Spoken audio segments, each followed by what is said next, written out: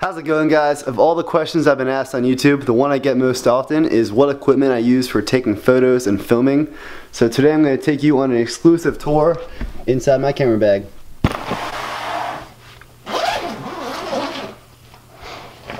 First off, the camera I use is the Canon T3i. I've been through a lot with this thing. I've dropped it, kicked it, pretty much anything you can think of I've done to it. Next off we have the Rode Mic Go. I got this just a few weeks ago and so far it sounds great and looks pretty darn professional. Here we have the CamCaddie handle. I've had this thing for a few years now. It's really sturdy and it does exactly what you'd hope a handle would do. You know, hold your camera.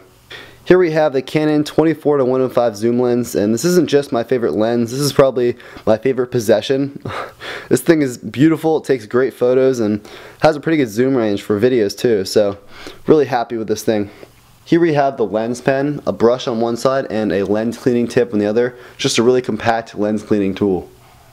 Next we have the Canon 50mm 1.8. It's a really cheap lens but can pack a punch. Good for portraits, shooting in low light, or getting that really nice shallow depth of field. I give it a slightly blurry thumbs up. Next we have the Slik Mini tripod which fits right in my bag. It's good for when I want to go into the city and not carry around too much stuff.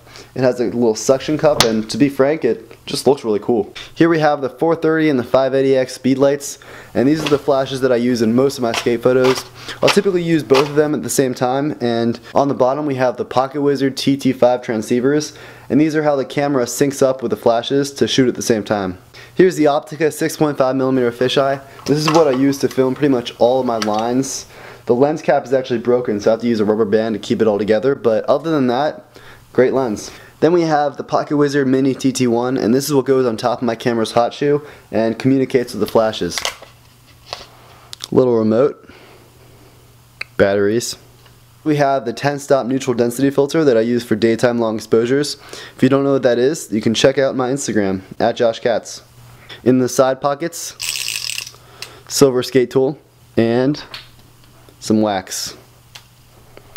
I can't catch a polarizing filter in the wrong case, pack of gum, I don't know why I did that, batteries for my flashes, shoelaces, extra memory cards, and now that you've seen my entire bag, at least one of you guys is thinking, wow, it'd be a great idea to rob him. Nope, I keep an assortment of knives in my bag, just in case and also a cheese grater in case I have to make dinner or grate cheese or something.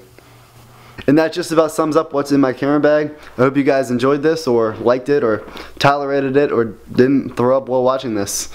Thanks for watching guys.